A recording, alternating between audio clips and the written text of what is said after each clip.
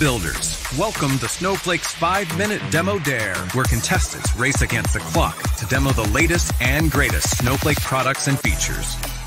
Our judges will rate the demos based on three criteria. How ambitious is the demo? Is the demo useful and replicable? And finally, how engaging and interactive was the demo? Each category is worth 5 points, and demos can rack up to a total of 15 points for a perfect score. And now, your host, developer advocate Felipe Hoffa.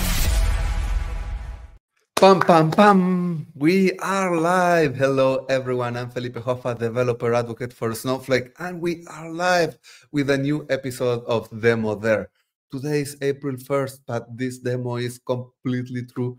We are going to see how to run Doom inside Snowpark, how to run Doom inside Snowflake. And for that, we have our brave demo presenter, Mika. Mika, are you here with us? Hi, and it's very nice to be on in your show. I like oh, it, like your work and your blogs that you post in uh, in video and everything else. How's oh, your day Mika. I'm a big fan of what you started doing this this case, which is uh, you saw a post about how to run Doom on on Snowflake, and then you decided to do it yourself and you posted a video and now you're here yeah um, I, I have previously uh, created a lot of blogs but mm-hmm. nowadays uh, with ChatGPT, the internet is full of uh, written articles and i've been uh, interested on trying out a video format and mm-hmm. when i saw daniel palma's code running doom i mean running Doom, that's an uh, use case for every platform to achieve. If you can run Doom, you can do basically everything. So, like running Doom on a microwave. So, I immediately connected the dots that this would be an ideal use case for a YouTube video. And um, I used the Daniel Palma's code for that. Kudos to Daniel. And uh, I posted the YouTube video and you saw it. And uh, here we are. Yes, and now you're ready to test this live. And yeah. by the way, I see a lot of light outside my window, and outside your window is pretty dark. Where are you today? I'm based in Helsinki, and it's uh, 8 p.m. over here, so it's getting uh, night. So, well, it's Finland. You know it as, as a country which doesn't have sun for only for two months. Yes, I've been to Helsinki. I love it. I've been there on summer and winter. But this is a reminder for everyone that we are 100% live. We're waiting for your comments. We're waiting for your questions. Uh, we want to see your support for Mika. Hi, Nikolai on YouTube. He's already saying hi. Um, yes. Uh, so, what's the 20 second pitch for the demo you have today? I would say that my 20 second pitch is that I have a different kind of use case for container services. But that doesn't mean that you cannot use container services for something useful like running DBT core within container services. Mm-hmm. So let's see how deep this goes. And how much are you trying to do during these five minutes? Because we have judges and we want to know if you did everything you intended to do. Well, I'm trying to achieve everything, but I will be skipping few parts because I have pre-made few steps for that. But I'm I'm trying to achieve everything within five minutes. So when you say everything, what's the end result? You should be see, seeing Doom from 1993 on your screens after the five minutes or within the five minutes. Uh-huh. And it will be running inside the Snowflake within container services and also playable. We are going to see how that works. And speaking of judges, I want to introduce our two judges today, uh, Al Prasanna and Jake. Thank you for uh, coming here to judge Mika. Uh, Prasanna, principal sales engineer at Snowflake. Jake, cybersecurity field CTO. Um, Prasanna, how excited are you to see this? What would you like to see from Mika today? I am very excited about this because Snowpark Container Services is all about bringing the apps to the data. So the more easy we can make this for the developers out there to bring their apps, whatever serious app they might be developing, if they can bring it to the data on Snowflake Data Cloud, that is all power to them. And that's what I want to learn is how easy is it for me to take any container, in this case, the game Doom, and bring it to bring it to the and run it within the data cloud. If I can learn that, that would be awesome. Cool. Let's see if we can get there. How about Jake? What are you expecting to see? You know, I'm, I'm going to echo that sentiment. What I what I really love about this is that you know running Doom on something it's, it seems to be a rite of passage for any any new compute platform. I think I, I like to tell my friends that the first the first Apple app that I've ever installed it wasn't on the iPhone, it wasn't on an iPod Touch, it was it was Doom running on a hacked classic iPod. Um, and, and, by the way, Doom was also the first thing that that I ran when I got my hands on container services. Um, so, so what I'm really interested today is is the same thing, right? I want to see that accessibility of this solution. You know, how you can take something that was seemingly complicated, something that that during its heyday was was the peak of technical complexity, um, and then in five minutes show how how Snowflake just makes that makes that easy and accessible today. Exactly. Let's make it. Let's see if everyone can make it work in five minutes. And before we start, we already have a question from Nikolai. Uh, Mika, what type of Snowflake account do people need to repeat this demo? Well, you need an account which is within AWS because container services are still on, is it the uh, public preview, the correct term? But they are not available within Azure or Google Cloud yet. Uh -huh. So you have an account on AWS today, but yeah, hopefully soon this will be available on every account. Yeah, um, I understood that this summer should be the um, uh, year of GA that all these features should come into GA within Azure, probably.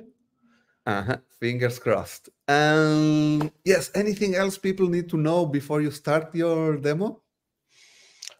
Well, as said, I have pre-made few steps already, but I will explain those uh, in the actual demo part that what are the steps that I have previously done to get this within five minute uh, time frame.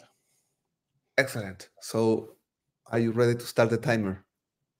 Yeah, I, I have my own timer and uh, let's, uh -huh. let's get started. Let's see if you will do it in less than five minutes. Yep. Let's tempt the demo god. Timer starts now.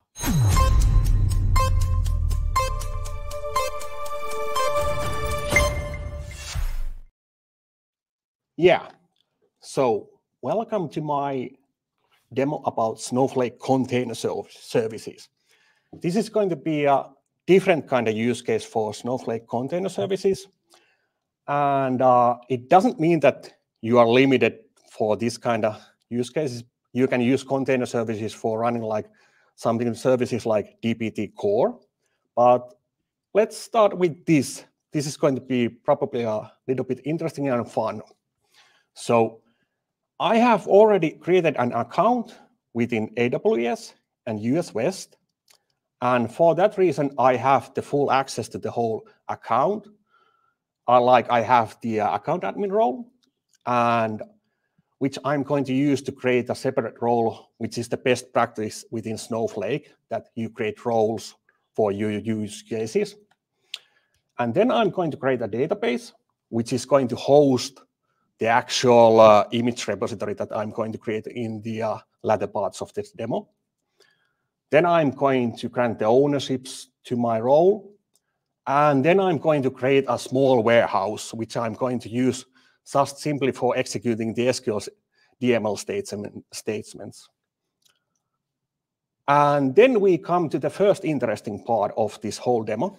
Uh, because the whole demo is going to be exposed to public internet, I want to limit the access who can access my application. And for that reason, I'm creating a security integration, which allows me to use my personal Snowflake account for accessing the uh, service. And because this is created within the uh, public internet, I need to also bind the service endpoint to my role, which I'm going to create here. And then we come to the actual interesting part of container services. Container services have two distinct features. They have compute pools and they have the actual service. And over here, I'm creating the compute pool, which is familiar for those people who have, for example, created Azure Kubernetes service, where you define the node pool. And within that node pool, you define the maximum amount of nodes and you also define the instance family. I could use GPUs, but that would be an overkill. But GPUs are excellent for ML or AI use cases. Uh, but for this use case, I'm using the smallest instance family, which is available, available within Snowflake. And then I'm granting the usage of that compute pool for my own role and granting finally the access of that role to my personal account. And then I'm creating the uh, actual image repository that is going to host the actual Docker image that I'm going to push in the next step. And this is the actual part that I have previously done because pushing the uh, Docker image takes a little bit of time. So I would git clone Daniel Palma's excellent code.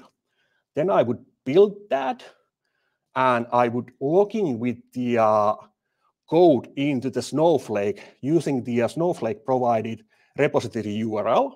And I would push the actual code back to Snowflake. And after that, I would go into the actual latter part of this demo where I would create the actual service. And that service would use the compute pool that I created on the first step. And that would contain the link to the image that I have pushed already. And I would define the name and the port to be used. And I, I would define whether it is public or not.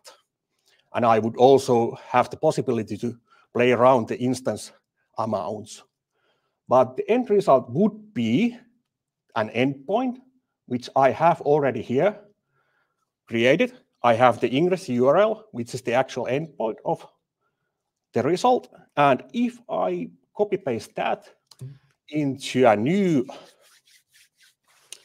service, you would be seeing something familiar.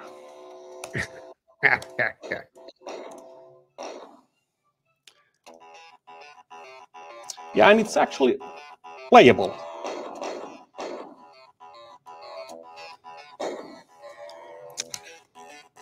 There. And,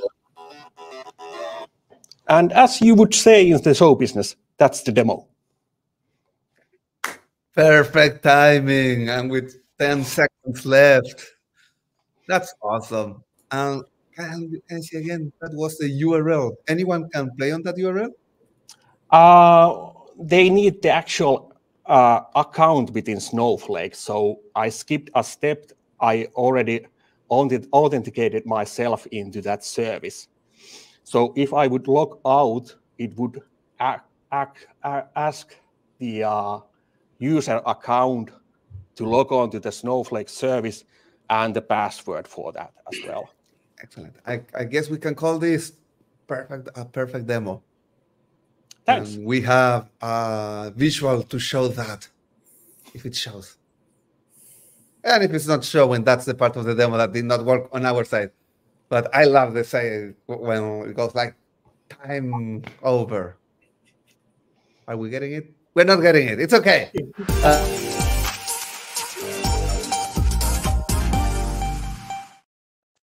there it is. Yes. So, our judges, Jake, Prasanna, what did you think? What comments do you have? What questions do you have for Mika? Uh, so, um, so the the the demo was very ambitious, uh, running something. What is typically considered very complex is trying to create the container, running it somewhere, and then trying to create the the RBAC model and doing all that stuff is complex. Exposing the endpoint brings together a lot of things that I feel Snowflake makes it easy, and Mika showed that value prop that was very good for me. I want to I want to take Mika's instructions and I want to try this myself to learn how I would do this with Snowflake container services. So that's uh, that was my uh, key takeaway. Nice. Yeah. Uh, how about you, Jake? Yeah, I mean, I, I've always said the the best way the best way to learn is by doing, right? And so the you know on the on the on the other side, you know, the best way to teach, right, to explain something is to show it, is to walk through an actual real real tangible use case. And I think that's what you've done a done a very good job of, of doing exactly that, showing that accessibility of the platform. Uh, not not just say a, a, test page that shows up in an actual interactive application that, that someone can use and in your case get value play immediately um, you know, all the while, what I really liked was you talking talking about what's going on behind the scenes, providing that context, what else is possible, um, and, and I think that's just so valuable. So so absolutely absolutely phenomenal job. Thanks. Yes, yes. Uh, before I let Prasanna and Jake this go to discuss the score for Mika today, remember we are scoring our participants on usefulness, on how ambitious the demo was, and how entertaining the demo was. Uh, Jake and Prasanna, do you have any questions for Mika? Uh, I got one. Um, so, so like you mentioned, right? We, we, we Snowflake, we didn't develop this so that people could play Doom. Um, although that is a great bonus. Uh, we, we developed it as part of a larger effort, right, to bring applications closer to the data, to allow right customers to run things like LLMs or security tooling, you know, within, mm. within a customer's security boundary. So uh, my question is then, what what's what's next? You know, where would you where would you want to take this from here? Any less possibly less fun, but maybe more more useful projects you have in mind using container services. I'd say extra extra credit if it involves cybersecurity data. well, I have already my second uh, idea about a video video ready, but uh, if I would do a second video about container services, it would be to play around with the GPUs that are now possible to use within container ser services because uh, that has been a limiting factor, at least I've been discussing with my data scientist fellows that once the GPUs come, the, they want to test out whether it is possible to create a, uh, MLOps types of uh, data pipelines using container services. So that might be a one uh, topic that I might try out. Very cool. Yeah. yeah. Doom doesn't use GPUs itself. Sorry, Prasanna. Yeah. Sorry, Felipe. Now, the one question I have is what were some of your challenges when you were embarking on this journey? Can you speak to some of the technical challenges you encountered? How did you go about it? Or how easy was it to do? Well, th that's the funny funny part of this that uh, that I spoke with my colleague who has been playing around with Kubernetes. And I have also installed Kubernetes and used Kubernetes in my previous jobs. Hmm. And when I started experimenting with, experimenting with the compute pools and the service, I was uh, baffled that is it really this easy? Like my colleague said that what Snowflake has done, Snowflake has basically SQLified, or what's the term, of uh, uh, creating services and compute pools. You don't need anymore to use command line tools because you can do everything by using SQL. So the honest answer was that I honestly didn't have any problems with this. Mm. And that's mind blowing on at least on my side because uh, I have already working code which I could change by I would I could run dbt or I could run Commander Keen just by changing the actual image. Yeah. Yes. That's that's amazing to hear because any any new technology, it is any new service like this, it is fairly intimidating for people to approach it and uh, the way you you sold me on it i want to go try this and do this myself which i have stayed away from because i am more of a database sql guy a data engineering type guy. So this is like, hey, this this all conjures of images of what you just talked about, Kubernetes and all the complexity that mm. comes with it. And now I don't, what you told me, I don't need to know all that. It's all mm. up for me, all eaten from me. So that's what I want to do. So that's that's that's great to hear. Thank you for sharing that story. Yeah. Yes, I love how we were telling people do not be scared of Kubernetes anymore. We have a very easy way to define where you want to run the containers. Mm. I think um, that every all of us have some previous history of Kubernetes and how complex that can be. And I would say that this is an excellent version. You don't need to play around with all the Kubernetes uh, history that comes with that. Yeah. I will give uh, Prasanna and Jake a minute to go decide the final score that you get, Mika. And don't worry if you don't get only fives because we here we say four is perfect. Uh, five is for something we've never seen before. Um, but I have a question from Nikolai. By the way, if you're on LinkedIn and you cannot get your comments through because LinkedIn sometimes doesn't get me your comments, uh, you can go to our live stream on YouTube, and that's where I'm getting all the comments that I'm answering right now. So Nikolai is asking, can you please explain more how container services here works with the image you provided?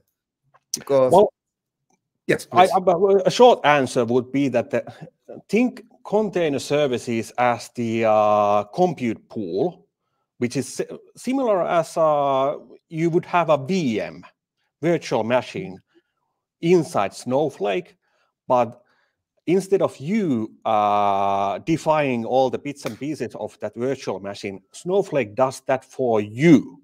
And I'm only pushing the uh, existing Docker image into that compute pool, and voila, I get I mm-hmm. can use any kind of uh, Docker files within container services. That's the uh, short answer for this.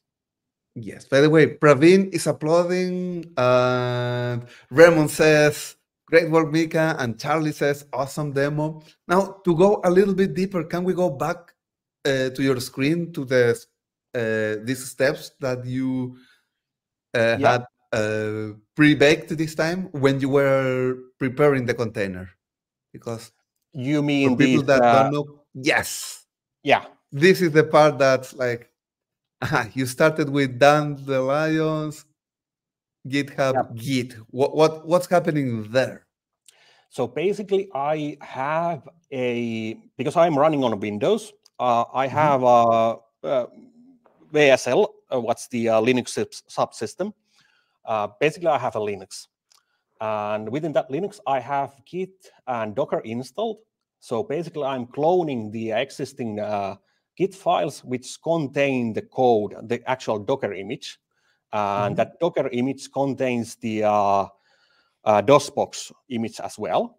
So what happens over here? I'm cloning that into my Linux machine, and then I'm building that uh, within my VM and uh, defining that uh, let's use the repository URL that Snowflake provides.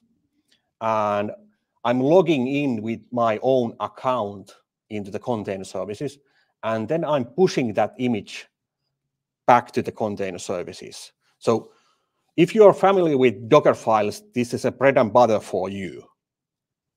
Yes. And can, can we go to Dandelion's Git repository to see what's happening there?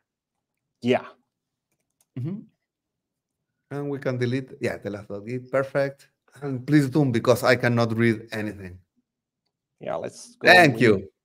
So this is the Git repository that creates that container. Yeah, well, here's the Docker file, which which is the uh, it's this simple. Uh -huh. So it starts from the current Alpine, it switches to app, and it mm. copies two JSON files and Doom. Yeah, simple as and that. that's it. Yeah.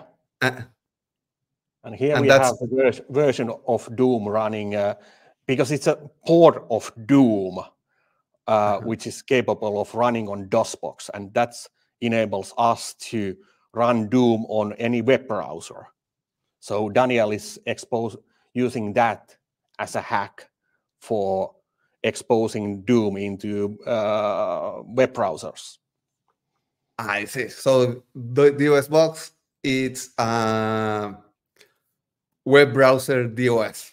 So if you can run something on a web DOS, then it just runs on your. Yeah. Nice. Really, really simple. So if you have similar kind of images or uh, something like that, you can try those out, out with the same code within Snowflake. Just copy the Git repository and try it out. Perfect. And this gets exposed in a web um, port that, and that's where you were connecting to. Like we can connect again to your Doom if you. Yeah, uh, I have it over here. Mm. I have the ingress URL here, and uh -huh. if let's try that, and it's really fast over here, but you might have seen that it reloads DOSBox at the start, JDOS. It's really fast. Yes. Uh-huh. And you can buy it for nine dollars Doom back here when it ran in the US. yeah. And there it's running again on that port that you are feel safe sharing with the world because it's protected with your uh, Snowflake account. Yeah. That was a big important step on the demo. Yeah.